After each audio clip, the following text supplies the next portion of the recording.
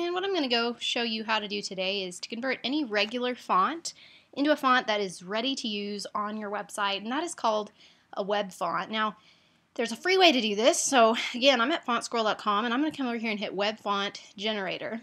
And that's going to give me some options, and I'm going to hit Choose File here.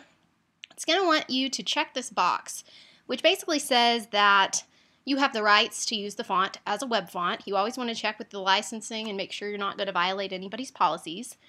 And then I'm going to go to Add Fonts, and I have actually saved the font that I want to use to my desktop. Here it is. It's a .otf. That means it's an open type font.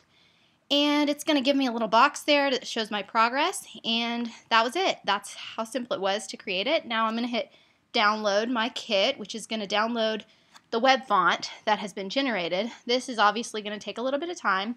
It's downloading several files at once. Okay, it's green. That means it has gone to my downloads folder.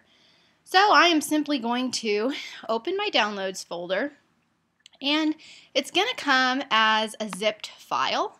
So go ahead and, if I can find it here, okay, there it is. Um, I'm going to unzip it by double clicking it. And here you're going to see what it's going to give me are just several different font files. Now, these right here, the SVG, the .ttf, the .woff files, are the ones you're just going to use to upload to your Angie Makes themes so that you can use custom fonts with your Angie Makes theme. So I hope that makes sense for you and that you are able to generate and use your custom